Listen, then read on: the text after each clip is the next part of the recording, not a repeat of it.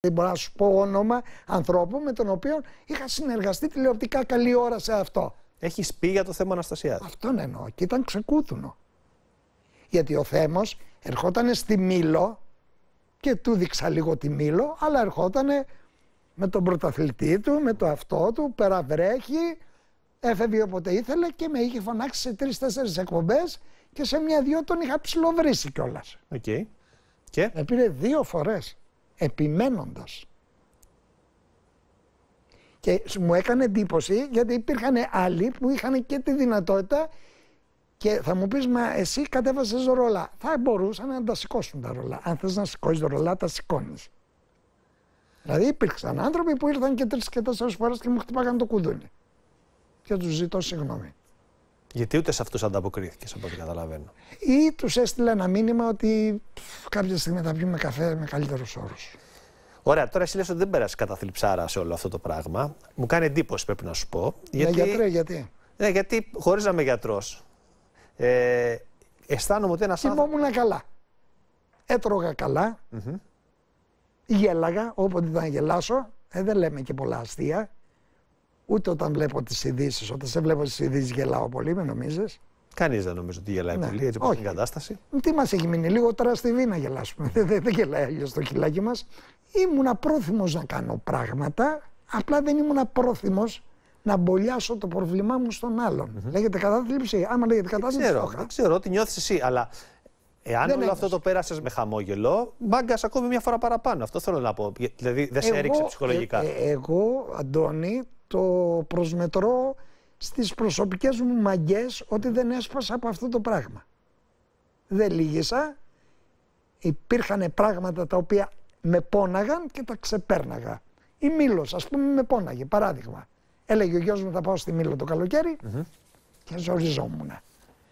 Και τα πρόσωπα της Μήλου που μου στέλνανε μηνύματα γιατί έχω αγαπημένες σχέσεις. Είπες για το γιο σου, μέσα σε όλο αυτό, αυτή τη δύσκολη περιπέτεια αυτών των χρόνων, τι ήταν ο γιος για σένα, ήταν, στήριγμα. ήταν στήριγμα; Στήριγμα. Στήριγμα γιατί ήθελε να το δει έτσι, γιατί αν δεν ήθελε θα ήμουν πάλι διακριτικός παρόλο που είναι γιος μου ήθελε να το δει, τον είδα ότι ενεργοποιήθηκε, τον είδα ότι το έκανε και με έναν τρόπο τέτοιο που εντάξει το έμπειρο μάτι μου καταλάβαινε, αλλά ένα μάτι άλλο θα λέγει ότι δεν... Ότι είναι, πώς να σου πω, το κάνει με, μια, με ένα είδος ε, αιμονής και θρησκευτικής ευλάβειας. Θα είμαι δίπλα στον πατέρα μου. Ήταν στήριγμα και ήταν και, και αντλούσα και δύναμη. Και, χωρίς... και έπρεπε να με δει ε, όχι ντε και καλά, αλλά χαιρόμουν που ήμουνα καλά και το εισέπρατε, γιατί το εισέπρατε, το καταλάβαινε. Δηλαδή έπαιζε ο Παναθηναϊκός ας πούμε και γινόταν στο σπίτι το σπάγαμε. Δεν ήταν, δηλαδή έχεις και πολλούς καταθλιπτικούς να κερδίζουν στο μπάσκετ και να κατεβάζουν ας πούμε όλο το σπίτι. Εγώ θα σου πω τον χάρηκα γιατί ήταν μελοδραματικός καθόλου σε όλη αυτή την ιστορία. Δηλαδή η επικοινωνία ήταν πώς είναι ο πατέρας μου, μια χαρά είναι ο πατέρας μου ένα τέτοιο πράγμα που δεν ξέρω αν είναι άμυνα αντίδραση, είναι έτσι ο χαρακτήρας του. Λοιπόν, μην απαντήσεις εσύ, απαντήσει ο ίδιος. Κι όλο με τρομάζει η ζωή μου που διασπάται. Κι όλο με φοβίζει η αλήθεια που διαφλάται. Ήταν ένας μπαμπάς που έκανε ό,τι καλύτερο μπορούσε κάθε φορά. Με κάποια λάθη, με πάρα πολλά σωστά. Το θέμα είναι ότι μετά από τόσα χρόνια που είναι πατέρας μου και είμαι γιος του Έχουμε μια πολύ υγιή και πολύ ωραία σχέση. Έχω πάρει αρκετά πράγματα από αυτόν, όπως έχω πάρει και από τη μητέρα μου. Ουσιαστικά ένα ψηφιδωτό είμαι αυτών των δύο, που προσπαθώ και εγώ να κοστολογήσω τα καλά τους, τα κακά τους και να εξελίσσομαι και εγώ μεγαλώνοντα. Θα ήθελα να έχω πάρει τη λογική του και την ψυχραιμία του στο 100%. Την έχω πάρει σε ένα αρκετά ικανοποιητικό ποσοστό, αλλά θα ήθελα να την έχω ολόκληρη για να αντιμετωπίζω τα πράγματα πολύ καλύτερα από ότι ίσως ενδεχομένως να τα έχω αντιμετωπίσει στο παρελθόν.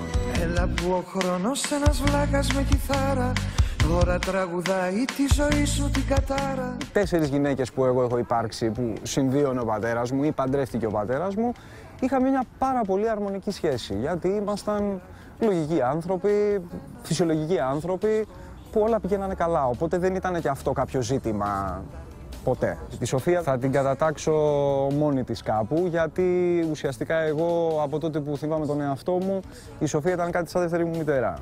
Οπότε και με την κόρη της νιώθω σαν να είμαστε αδέρφια και με τη Σοφία σαν να είναι μητέρα μου. Ήτανε αυτό, σαν μια δεύτερη μητέρα μου.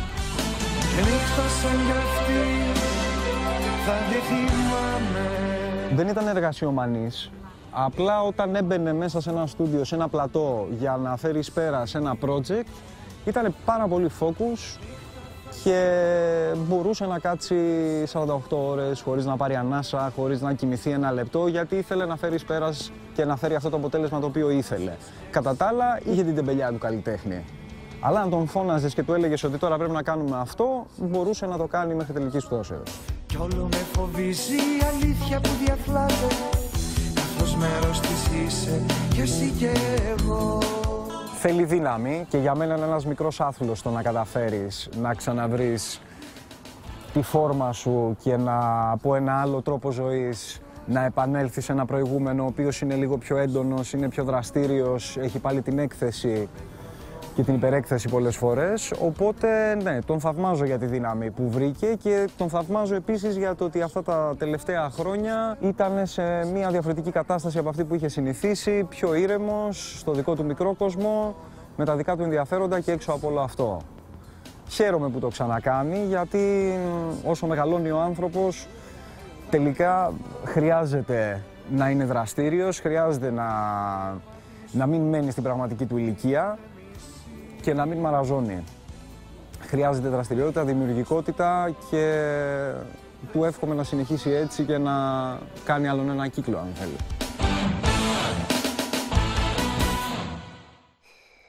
Διαφορετική σχέση μπαμπάγιου. Εδώ βλέπω να σου δίνει και κατευθύνσεις ότι κοίταξε να δεις αυτό το δρόμο που ακολουθήσεις. Είναι και λίγο μέντορας, δεν ξέρω, δεν ξέρω. Είναι και λίγο η φωνή της λογικής σε κάποια πράγματα. Είναι φίλος, είναι γιος, τι είναι; Είναι γιος.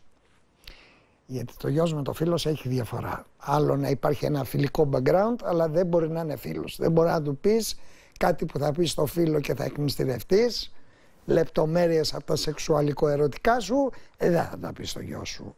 Έχεις την άνεση, δηλαδή για να καταλάβεις, εγώ είχα χωρίσει με τη μάνα του, ήταν μικρός ο Στέργιος και ήμουνα με άλλες γυναίκες. Ποτέ όταν πηγαίναμε ταξίδι τρεις δεν κοιμήθηκα με άλλη γυναίκα. Κοιμόμουν με το στέργιο και την παρακαλούσα να κοιμάται κάπου αλλού. Ήθελα να κρατάω και τη σχέση με το γιο μου και να μην έχει εικόνες που να τον στέλνουν κάπου αλλού αφού είχε χαθεί η βασική εικόνα με τη μάνα του που θα μπορούσε να πω εντάξει είναι το, το φυσικό. Ε, είπε μια πολύ ωραία τάκα, την, ε, λέει είναι εργασιομανής, έχει κάνει φόκους αλλά έχει και την τεμπελιά καλλιτέχνη. Ε, η δημιουργική τεμπελιά είπε, είναι μεγάλη κουβέντα αυτό γιατί και δεν του έχω πει ποτέ κάτι. Εγώ πιστεύω τα μεγάλα πρόσωπα είχαν δημιουργική τεμπελιά. Τι σημαίνει αυτό; Να μου επιτρέψεις τον όρο. Γιατί υπάρχει και, υπήρχε το χαμογελάτε είναι μεταδοτικό και υπάρχει και το κολοβαράτε είναι μεταδοτικό. Δηλαδή να, να κολοβαράς και να οραματίζεσαι. Είναι από τις πιο δημιουργικές στιγμές. Και νομίζω πάρα πολύ μουσική που είναι και η πιο αφηρημένη τέχνη γιατί θέλει πιάνο, θέλει αυτό. Θα το βλέπανε έτσι πολλοί ζωγράφοι και πολλοί λογοτέχνες. Δηλαδή κάθονται αλλά σκέφτονται. Είπε αυτό το πράγμα ποτέ δεν είμαι σε κενό αέρος. Ποτέ δεν είμαι μαύρος στίχος. Κάθομαι και κάτι σκέφτομαι. Μπορεί να είναι αίσθηση. Μπορεί δηλαδή να πάω σπίτι το βράδυ να κάτσω μια ώρα και να σκέφτομαι τη σχέση μας. Mm-hmm. Πώς βγήκε, πώς σε συνάντησα, πώς επέτυχα κάτω που έκανα το COVID test. Πώς μιλήσαμε στο ασανσέρ, τι έχουμε πει, τι πράγματα έχουμε πει που δεν βγαίνουν στον αέρα. Και όλο αυτό, αυτό το πράγμα, να είσαι σίγουρος, Αντώνη, ότι θα το βάλω σε ένα ταμπλό δικό μου και θα το γευτώ. Θα το ακούσω, θα το αισθανθώ και θα το περάσω στη γνώση μου και στη σχέση μου. Εγώ αυτή την ατάκα να ξέρεις, θα τη χρησιμοποιώ από εδώ και πέρα. Αν κάποιος μου λέει τι κάνεις εκεί, θα του λέω Άσε με οραματίζομαι. Σωστό πράγμα. Πάρα πολύ σωστό είναι αυτό και το κρατάω για να το χρησιμοποιήσω. Του Στέργιο όμως να πούμε ότι είναι, γιατί εγώ την έχω αυτή την άποψη, αλλά ο Στέργιο στην άρθρωση. Μίλησε για τις γυναίκες στη ζωή σου και είπε ότι είχαμε όλες τέλειες σχέσεις. Η Σοφία, η Σοφία Βόσου, ήταν σαν δεύτερη ναι, μητέρα. Σαν δεύτερη μητέρα μου. Ναι, γιατί ήταν και όταν πρωτοείδε ότι κάτι, κάτι, παρόλο που εγώ χώρισα με τη μάνα του για την Εύη, αλλά έφυγε η Εύη και δεν τη γνώρισε. Την Εύη την είδε μια-δύο φορές, ήταν πολύ μικρός. Μετά είδε τη Σοφία. Οπότε είχα και τη συνεργασία με τη μουσική, ήταν και όλα αυτά. Ήμουνα και διακριτικός να μην αυτό, αλλά σιγά σιγά αυτό κράτησε αρκετό καιρό, όσο καιρό ήμουνα με τη Σοφία ζευγάρι και πραγματικά ήταν μια πολύ τρυφερή σχέση ανάμεσά τους και παραμένει και υπάρχει και η ερασμία και έχουμε ζήσει πολλά πράγματα. Κάναμε τις πρώτες μας σκηνές στην Άμμο, δίπλα τα παιδιά σε μια σκηνή, εγώ με τη Σοφία σε άλλη σκηνή. Έτσι. Η σχέση σου με Κάμπινγκ. τη Σοφία, δεν ξέρω αν ε, στο χωρισμό πέρασε μια κρίση, αλλά νομίζω ότι είναι από τις σχέσεις που λέγονται σχέσεις ζωής, έτσι. Δηλαδή, ε, σ' αγαπάει και την αγαπάς. Όχι απαραίτητα με το ερωτικό κομμάτι, αλλά σ' αγαπάει και την αγαπάς. Αυτό εισπράττω εγώ τουλάχιστον. Ε, μ' αγαπάει, την αγαπάω και είχαμε και την εξής χαρά. Να ξεκινήσουμε ο καθένας από το πόστο του τη μουσική ιστορία, ο καθένας από το πόστο του μαζί και να φτάσουμε σε ένα αποτέλεσμα που να μας έχει κάνει γνωστούς, να μας έχει ανοίξει δρόμους, να έχουμε πετύχει πράγματα, να έχουμε τρα- γράψει τραγούδια που μας φράγιζαν, να έχουμε την άνοιξη, να πω ένα τραγούδι ας πούμε, και όταν χωρίσαμε είχαμε ήδη φτιάξει ένα δικό μας δέντρο, το οποίο ήταν ε, αϊθαλές και ουχή φιλοβόλων να ξέρετε. Πέρασε και εκείνη μια περιπέτεια υγείας, σοβαρή. Ναι. Και δυσκολεύτηκε και πολύ. Ναι. Και πρόσφατα μιλήσατε, αν δεν Και κάνω πολύ λάθος. γενναία. Τι πρόσφατα, αν μίλησα εγώ με τη Σοφιά. Πρόσφατα μιλήσατε, λέω, σας είδα σε μια τηλεοπτική εκπομπή κάπου στον, στον Αν αέρα. βγήκα του Νίκου του Κοκλώνη το Just the Ήταν- Two of Us Στα πολύ δύσκολα τώρα. και δεν ήξερα και την είχε πάρει τηλέφωνο. Δεν, δεν ήξερα ότι η Σοφία γιατί ήταν στα άσχημά της και μάλιστα ούτε καν τη ζήτησα να τραγουδήσει. Της, άρχισα να της το τραγουδάω εγώ, ας πούμε. Όχι, της είπα για τραγουδά το έτοιμος να παρέμβω γιατί δεν ήξερα τι και πώς. Αλλά ήταν η αρχή της ανάνυψης τότε που βγήκε. Τώρα είναι πολύ καλύτερα να ξέρεις. Όχι που ξέρω, ξέρω γιατί μιλάμε κάθε μέρα, γιατί πηγαίνω εκεί και ξέρω όχι ότι είναι πολύ καλύτερα. Είναι στα όρια του να επανέλθει στη δικιά της δυναμική νομιμότητα. Να κάνει το δικό της comeback λοιπόν. Έτσι, έτσι, θα το κάνει. Τι θα ήμουν αν θα σε έκανα, αν θα σε έκανα, αν θα σε έκανα. Σοφία καλησπέρα, περαστικά. Καλό comeback λοιπόν. Ευχαριστώ πολύ, ευχαριστώ, ευχαριστώ. Μωρή Σοφία, σήμερα γιατί δεν με πήρες τηλέφωνο; Α, γιατί ήξερα ότι έχεις δουλειά. Α, ναι, γιατί είχα να πάω το πρωί. Α, ναι, ναι, έχεις δίκιο, έχεις δίκιο. Ε, Γιατί μα- σου λέω, σε χίλια συγγνώμη. Δεν ξεχνάω, οργανώνομαι νικά. Εγώ ξεχνάω. ε, Ούκ έρχεται, ούκ έρχεται μόν- μόνο- μόνη της η εκπομπή. Έρχεται και με κουσούρια. Λοιπόν, Σοφία, αυτό που λέει εδώ είναι ότι η δική σας σχέση είναι ένα ηθαλές δέντρο, έτσι, το οποίο όλα αυτά τα χρόνια... Ε, Δεν ήξερα ότι δεν με ακούεις η Σοφία, θα Ναι. έλεγα κάτι άλλο. Ας πούμε. όχι, θα έλεγες κάτι χειρότερο. Όχι, όχι, όχι. Δεν έχει Όχι. ρίξει τα φύλλα του ποτέ και ότι η αγάπη αυτή δεν έχει σβήσει.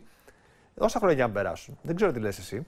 Ε, για, για Αντώνη μου γλυκές, δύο άνθρωποι που έχουν μοιραστεί το κορμί τους, την ψυχή τους, τη ζωή τους όλα αυτά τα χρόνια που έχουν ερωτευτεί, αυτό ισχύει για όλο τον κόσμο που λέω, ε, δεν είναι δυνατόν να χωρίζουν και να μην πονάει ο ένας τον άλλον, να μην τον αγαπάει, να τον μισεί ή να έχει αποθυμένα ή οτιδήποτε. Απλά η αγάπη αλλάζει χρώματα.